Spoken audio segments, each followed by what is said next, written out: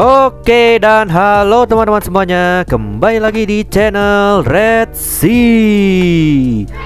Dan pada video kali ini ya Kita akan memainkan event Ramadan di game Roblox Kereta Api Indonesia ya Roscale Dan untuk cara memainkan event ini ya Kalian cukup pergi menuju ke yang belakang itu ya Yang ada tulisan warna hijau dan bulat warna hijau kalian kunjungi ke situ ya untuk men-trigger questnya ya. Oke, sekarang kita ke sana.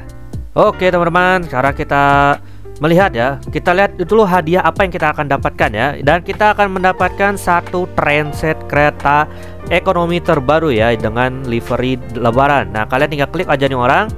Oke, kalian baca-baca aja di sini. Kalau kalian pengen skip, skip aja ya. Kalau kalian tidak mengerti bahasa Inggris. Tapi kalau kalian ngerti coba kalian baca-baca dulu ya.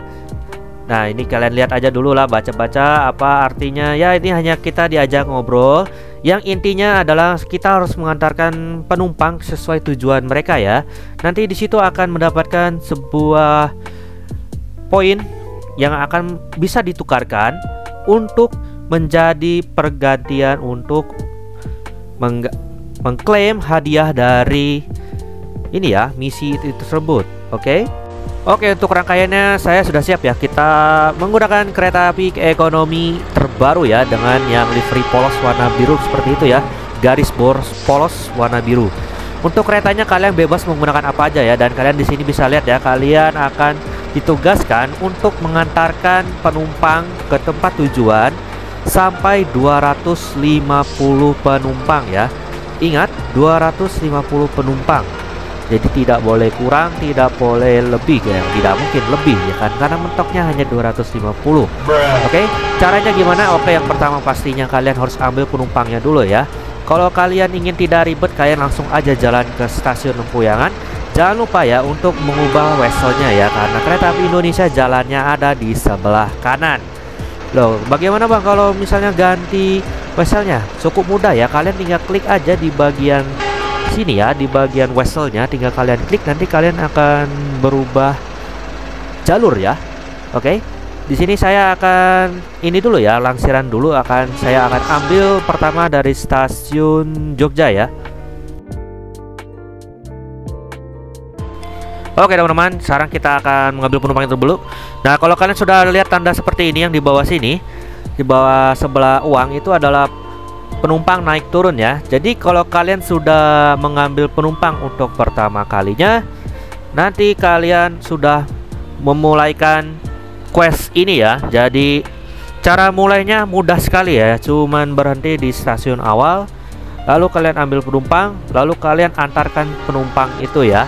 Oke, sekarang kita akan ambil contoh, kita akan siap berangkat menuju ke Lempu yang terlebih dahulu ya. Sekarang kita lihat. Oke, udah terlalu mundur. Dan sekarang kita maju ya. Sekarang kita akan menuju ke stasiun Lempuyangan Oke teman-teman. Sekarang kita sudah mulai memasuki stasiun Lempuyangan ya. Kalau kalian lihat di sana ada kereta juga yang lagi berhenti ya. Mungkin lagi turunkan penumpang sudah tahu juga ya. Oke sekarang kita masuk ke jalur 2 ya. Nah kalau kalian benar cara masuk dan stasiunnya kalian pasti akan mudah seperti ini ya jadinya enak dipandang jadi sangat mudahnya emang kereta api Indonesia ada di jalur sebelah kanan dan arah sebaliknya juga di kanan ya. Ya bukan tidak bebas ya tapi hanya kalau pengen realistis aja ya kan? Oke sekarang kita masuk stasiun ya kita akan siap berhenti ya kita akan menurunkan dan menaikkan penumpangnya ya. Dan kita lihat apakah questnya sudah berjalan atau belum ya dan sekarang kita stop aja di sini. Nah, nah ini sedang akan mulai proses ya. Nah, kalau kalian sudah berarti ini, kalian sudah proseskan naik turun penumpang ya. Kita tunggu saja di sini. Ini tidak terlalu lama kalian untuk menunggunya ya. Oke, kalian bisa mendengar tadi suara kulit dari kondektor dan kita klakson aja ya.